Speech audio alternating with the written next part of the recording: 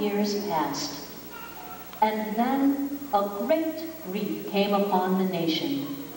They were all very fond of their emperor, and now he was ill and could not live, it was said.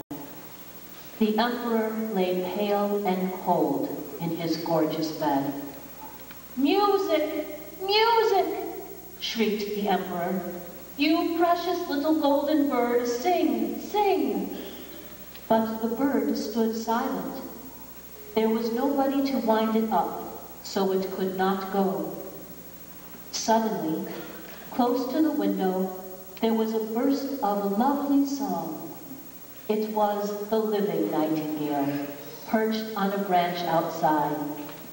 It had heard of the emperor's need and had come to bring comfort and hope. The next morning, the emperor awoke refreshed and well.